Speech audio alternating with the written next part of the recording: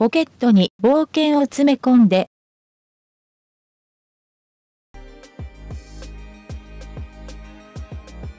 女優の西野七瀬が16日、都内で行われたキドラ24ポケットに冒険を詰め込んでの記者会見に笠松翔、平野や瀬古口亮、塚ジムが内田理央と共に出席。微笑ましい幼少期のエピソードを明かした。本作は1996年にゲームソフトとして登場以降、アニメやカードゲームなど幅広くメディアミックスを展開し、子供から大人まで根強い人気を誇るポケットモンスター、略してポケモンをテーマにした初のオリジナルドラマ。20年ぶりにポケットモンスター赤を手にした主人公赤木まどかを西野が演じる。ポケモンの思い出を聞かれた西野は、兄がやっていたやつを勝手にリセットしていた、とぶっちやけ、塚地が悪いよ、と指摘すると、西野は一応、兄は遊び終わったからいいよ、ということで、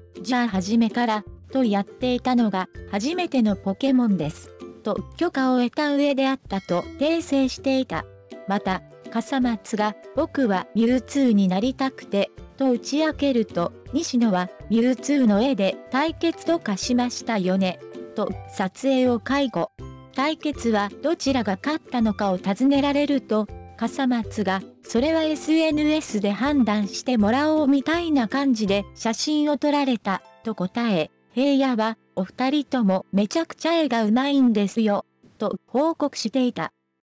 私のビデオを見てくれてありがとう。最新のビデオを受け取るために私のチャンネルを購読してください。